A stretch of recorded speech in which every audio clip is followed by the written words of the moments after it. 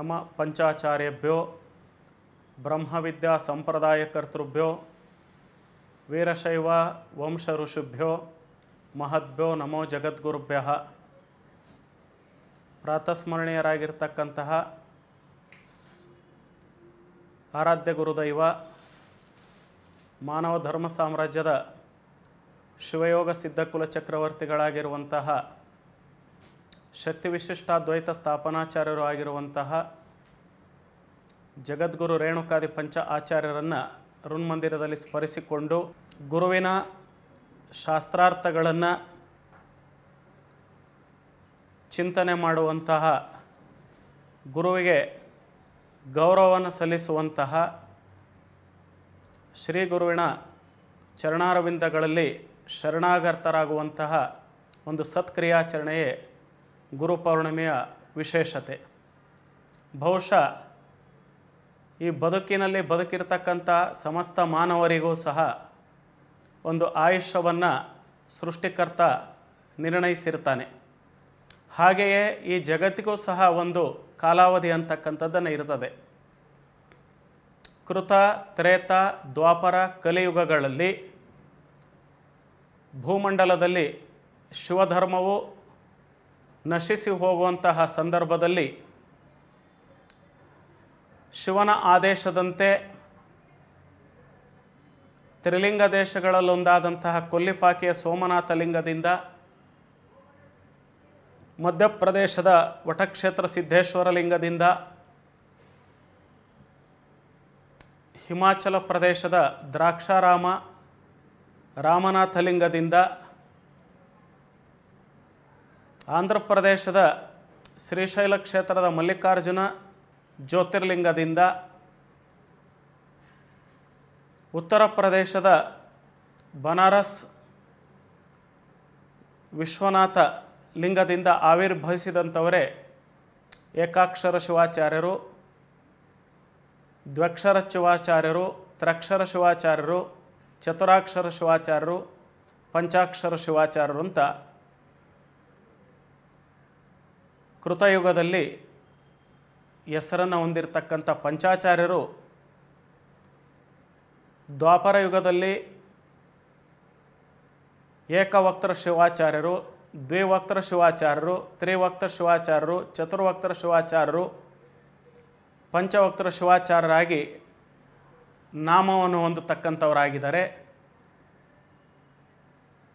ತ್ರೇತಾಯುಗದಲ್ಲಿ ಜಗದ್ಗುರು ರೇಣುಕಾಚಾರ್ಯರಾಗಿ ಜಗದ್ಗುರು ಧಾರುಕಾಚಾರ್ಯರಾಗಿ, ಜಗದ್ಗುರು ಏಕೋರಾಮಾರಾಧ್ಯರಾಗಿ, ಜಗದ್ಗುರು ಪಂಡಿತಾರಾಧ್ಯರಾಗಿ, ಜಗದ್ಗುರು ವಿಶ್ವಾರಾಧ್ಯರಾಗಿ ಆವಿರ್ಭವಿಸ್ತಕ್ಕಂಥವರಾಗಿದ್ದಾರೆ.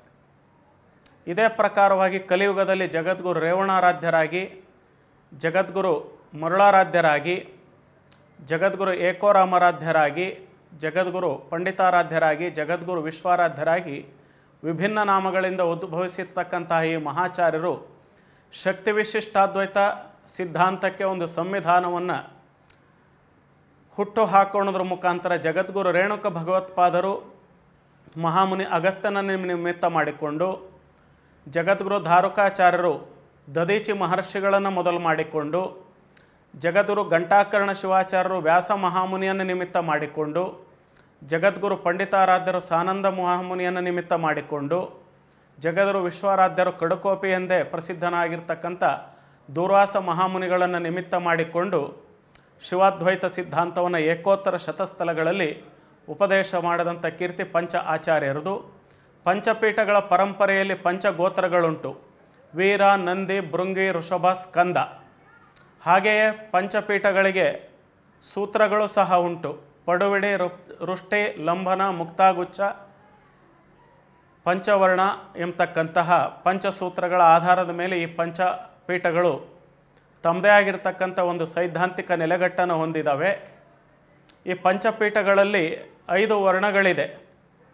ರಂಭಾಪುರಿಯ ಪೀಠದ ಬಣ್ಣ ಹಸಿರು, ಉಜ್ಜಯಿನಿ ಪೀಠದ ಬಣ್ಣ ಕೆಂಪು, ಕೇದಾರ ಪೀಠದ ಬಣ್ಣ ನೀಲಿ, ಶ್ರೀಶೈಲ ಪೀಠದ ಬಣ್ಣ ಬಿಳಿ ಮತ್ತು ಕಾಶಿ ಪೀಠದ ಬಣ್ಣ ಹಳದಿ. ರಂಭಾಪುರಿ ಪೀಠದ ಹಸಿರು ಬಣ್ಣ ಮುತ್ತೈದೆಯರ ಕೈಗಳಲ್ಲಿ ಪರಿಶೋಭಿಸ್ತಕ್ಕಂತಹ ಈ ನಾಡು ಪಚ್ಚ ಪೈರೆ ಹಚ್ಚು ಹಸಿರುವಿಂದ ಕಂಗೊಳಿಸ್ತಕ್ಕಂಥ ಉತ್ಕೃಷ್ಟವಾಗಿರ್ತಕ್ಕಂಥ ಕ್ರಿಯಾಚರಣೆಯನ್ನು ಒಳಗೊಂಡಿರ್ತಕ್ಕಂಥ ರಂಭಾಪುರಿ ಪೀಠದ ಬಣ್ಣ ಹಸಿರು, ಇದನ್ನು ಮುತ್ತೈದೆಯರ ಎರಡು ಕೈಗಳಲ್ಲಿರ್ತಕ್ಕಂಥ ಬಳೆಗಳಿಂದ ಗೋಚರಿಸ್ತಕ್ಕಂಥದ್ದಾಗಿದೆ.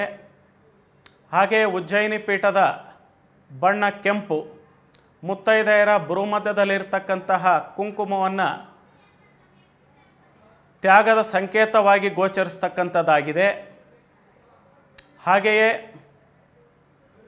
ಕೇದಾರ ಪೀಠದ ನೀಲಿ ಬಣ್ಣ ಮುತ್ತೈದರ ಕೊರಳಲ್ಲಿ ತಕ್, ಧರಿಸ್ತಕ್ಕಂಥ ಮಾಂಗಲ್ಯದಲ್ಲಿ ಮಣಿಯಾಗಿ ಸ್ಥಾನವನ್ನು ಪಡೆದುಕೊಂಡು ಮುತ್ತೈದೆಯರ ಗೌರವವನ್ನು ಎತ್ತಿ ಹಿಡಿತಕ್ಕಂಥದ್ದಾಗಿದೆ ಹಾಗೆಯೇ ಶ್ರೀಶೈಲ ಪೀಠದ ಬಿಳಿಯ ಬಣ್ಣ, ತಾಯಂದಿರ ಕಾಲಲ್ಲಿರ್ತಕ್ಕಂಥ ಕಾಲು ಬೆರಳಿನ ಉಂಗುರವಾಗಿ ಸ್ಥಾನವನ್ನು ಪಡೆದುಕೊಂಡು ನಿರ್ಮಲವಾಗಿರ್ತಕ್ಕಂಥ ಶಾಂತಿಯನ್ನು ಗೋಚರಿಸ್ತಕ್ಕಂಥದ್ದಾಗಿದೆ. ಇನ್ನು ಕಾಶಿಯ ಪೀಠದ ಹಳದಿ ಬಣ್ಣ ತಾಯಂದಿರ ಮಾಂಗಲ್ಯದಲ್ಲಿರ್ತಕ್ಕಂತಹ ಮಾಂಗಲ್ಯ ಪದಕವನ್ನು ಸೂಚನೆ ಮಾಡ್ತಕ್ಕಂಥದ್ದಾಗಿದೆ. ಇದು ಪರಿಪಕ್ವತೆಯ ಸಂಕೇತ ಅಂತ ನಾವು ಹೇಳ್ತೇವೆ.